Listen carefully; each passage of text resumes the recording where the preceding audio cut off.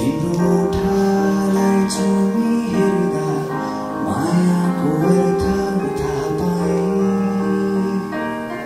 तिम्रो हातलाई थामी बस्दा साथको अर्थ थाहा पाएँ भन्नु मेरो यति नै हो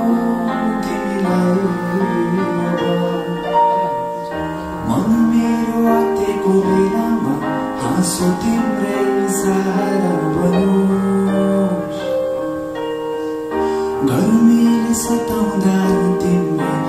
是